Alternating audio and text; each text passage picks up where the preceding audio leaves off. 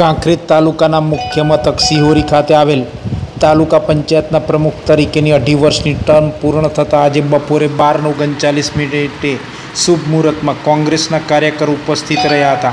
ત્યારે તાલુકા પંચાયતના પ્રમુખ તરીકે કૃષ્ણાબેન રમતુજી ઠાકોરે ઉમેદવારી પત્ર ભર્યું હતું. કાંકરેજ તાલુકા પંચાયતના પ્રમુખ તરીકે બે હજાર અઢારથી ઓગણીસ સુધી કોંગ્રેસ પક્ષના પ્રમુખ તરીકે સંભાળી હતી, જેમાં લગભગ સાત જેટલા કોંગ્રેસ પક્ષના ચૂંટાયેલા સભ્યોએ બળવો કરીને ભાજપ સાથે જોડાયા હતા. ત્યારે ભાજપ બાવીસ આઠ બે હજાર ઓગણીસથી બે હજાર વીસ સુધી કાંકરેજ તાલુકા પંચાયત ઉપર કબજો મેળવી લીધો હતો. ત્યારે હવે અઢી વર્ષ પૂર્ણ થતાં ફરીથી કોંગ્રેસ પક્ષના પ્રમુખ તરીકે બેસે એવી શક્યતા છે.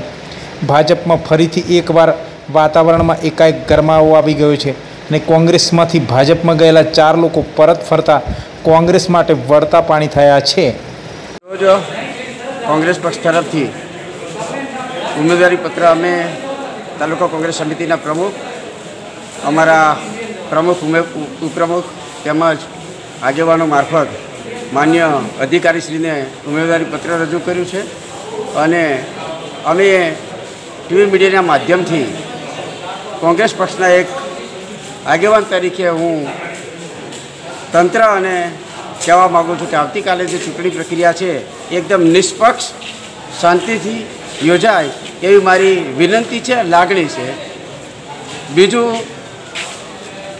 કે આવતીકાલે તંત્ર પણ અમારી, તંત્રને પણ અમારી વિનંતી છે કે ઉમેદવાર જે કંઈ આ કમ્પાઉન્ડની અંદર પગ મૂકે, એમના માટે કોઈ ચિંતા એટલે ભયજનક જેવું વાતાવરણ કેવું ઊભું ન થાય.